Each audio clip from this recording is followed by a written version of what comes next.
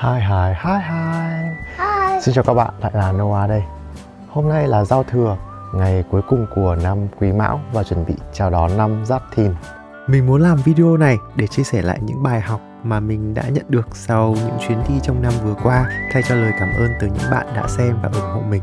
Bài học đầu tiên, tự trải nghiệm giúp mình nhận ra được những định kiến và giới hạn của bản thân. Trước khi đi Lào, mình từng nghĩ người dân ở đây rất nghèo và khổ sở, nhưng tới khi tới nơi thì mình thấy không hoàn toàn như vậy. Lào có tàu cao tốc triệu voi, trong khi chúng ta vẫn chưa có.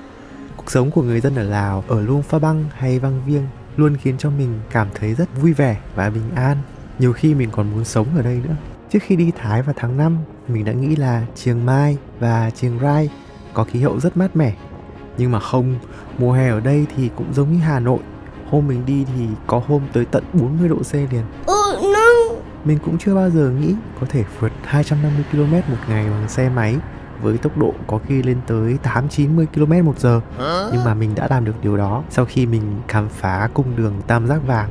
Trước khi đi Philippines, mình đã nghĩ biển đảo Việt Nam của mình như ở Hạ Long hay Nha Trang là siêu đẹp rồi. Cho tới khi được thấy El Nido với nước trong vắt, nhìn thấy tận đáy, cùng màu xanh mãn nhãn, thì mình mới biết là mình vẫn cần đi nhiều lắm. Mình cũng từng kim chặt định kiến là Philippines ô nhiễm nghiêm trọng nhưng có thể những nơi khác ô nhiễm thì ô nhiễm đấy.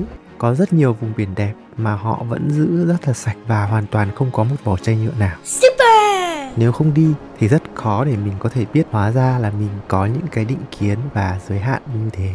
Bài học thứ hai mà mình nhận được là trân quý sự đa dạng và khác biệt. Trừ Brunei và Đông Timor là hai nước mình chưa có ý định đi trong tương lai gần thì sau khi đi Lào và Philippines, mình đã hoàn thành hành trình đặt chân lên lãnh thổ tất cả các nước ASEAN còn lại. Nhờ đó, về sơ bộ, mình đã có góc nhìn tổng quan về văn hóa các nước trong khu vực. Khi du lịch các nước này, mình nhận ra rằng chúng ta thường rất ít khi để ý tới những điểm giống hay điểm chung mà tập trung vào những điểm riêng. Yeah. Với mình, chắc mình sẽ không thể nào quên cách cúng dường của người dân Lào với các vị sư ở Luang Prabang hay âm nhạc đường phố khắp mọi nẻo đường của người Philippines cũng như kiến trúc những ngôi chùa độc đáo và phá cách ở Chiang Rai, Thái Lan. Dù rất là gần gũi về mặt địa lý, nhưng mình tìm thấy được sự khác biệt trong tính cách của người dân mỗi nước. Nếu như người Thái Lan làm du lịch rất tốt, thân thiện, người Lào hiền hòa, tốt bụng, Vâng, tới đây đi bây giờ nội thì người dân Philippines rất lanh lợi với khả năng giao tiếp tiếng Anh cực kỳ đỉnh. Hôm nay Dạ Dạ Dù khác biệt nhưng mình luôn cảm nhận được sự thú vị và những nét tốt đẹp trong con người những nơi mà mình từng đi. Bài học thứ ba, mọi chuyện rồi sẽ ổn. Trong mọi chuyến đi luôn có những thử thách.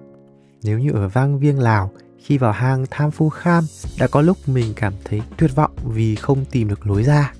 Nhưng cuối cùng mình vẫn tìm được đường và đã có một trải nghiệm không thể nào quên. Rồi một loạt những sự cố như suýt trễ chuyến bay, phút cuối tới nơi không có phòng hay bị nhầm hạng phòng ở Philippines thì mình vẫn giải quyết ổn thỏa. Đôi khi có thể biến nguy thành cơ, đó là được tặng một số điểm để đặt phòng trong những lần tới. Những lúc như thế, điều giúp cho mình có thể đi tiếp được đó là niềm tin mọi chuyện rồi sẽ ổn. Và thông qua đó, cái niềm tin này càng ngày càng sâu ở trong mình. Cảm ơn năm cũ đã cho mình những bài học này. Với năm mới sắp tới, mình cũng hy vọng sẽ có những chuyến đi thú vị và những bài học giá trị.